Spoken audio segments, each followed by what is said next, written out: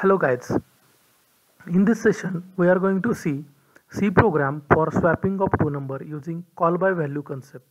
Okay, so for this I am going to use user defined function swap. Okay, so there will be two user defined function main and swap. Getting so let us start with C program for swapping of two number using call by value concept. Okay, so first we'll add header file which are required for our C program. Hash include stdio.h. I am going to use printf and scanf these two functions from this header file. Next, I will add main function. So you know that main is entry point of any C program. Getting and main should return zero value. Getting so 0 is integer value. That's why I have specified the return type of main as integer. Getting? Now what I am going to do I am going to read two numbers from user. So these are two integer variables. I am going to read two integer values from user. Okay? So to place those values integer values I have taken or I have created two integer variables. Now display message to the user for reading those values. With the help of printf. So enter two numbers. And then read those values with the help of scanf. Format specifier should be percent d for integer. And those values will be placed at number 1 and number 2 that is address of number 1 and address of number 2 respectively. Now see this is main function. This is one of the user defined function. This is entry point of C program. Now what I am going to do as I already said I am going to use user defined function swap. So that swap function will have the logic of swapping. Getting? So here I will create user defined function swap. So how to create user defined function? So you know that there are three elements of user defined function.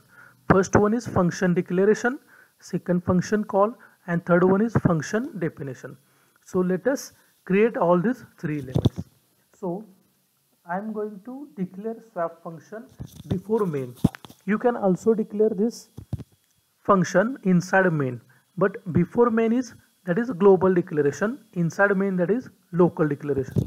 So this is what function declaration. Function declaration. And this function will take two inputs. So for example integer n1 and integer n2 that means that input or that values will be received in these two variables. So n1 and n2 these are called as formal parameters. Okay. Now here we have completed the uh, reading part. Now our job is to pass those values. That is number one and number two value of number one and number two to swap function. So you need to call function. Getting? So this is function call and pass these values. As we are demonstrating call by value concept so in call by value we are passing value of actual parameter. Getting? So see number one and number two these are actual parameter or actual variable. So we are passing their values to swap function. So swap should collect those values in their formal parameter. So formal parameters are n1 and n2 so see what is the flow so whenever compiler will come across this particular function call, it will jump from this point to this point. Okay, function definition point. And it will bring value of number 1 and number 2 getting? And those values number 1 and number 2 values will be copied in n1 and n2 getting? N1 and n2 okay now you need to apply your logic so you know that there is simple logic. Temp equal to or assignment operator n1 n1 assignment operator n2 and n2 assignment operator temp. So we have already seen this logic. And now print the result of swapping. So after swapping values are percent d and eh? percent d comma n1 comma n2 now see this is function declaration. This is what function call. And this one is function definition.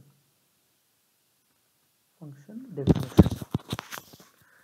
So see this is function definition. So this is also called as function implementation. So this function definition has what? Logic. Logic of swapping. So see in call by value we are calling function by passing the values of actual parameter. These values will be copied in formal parameter. And whenever we perform any operation on formal parameter they will not affect the original values that is values of actual parameter. So this is what call by value concept. So let us compile this program. So save this file. Okay so see there is no any error. And run this. So give some values 20 30 and see output is after swapping values are 30 and 20 getting? So this is simple c program for swapping of two number using call by value concept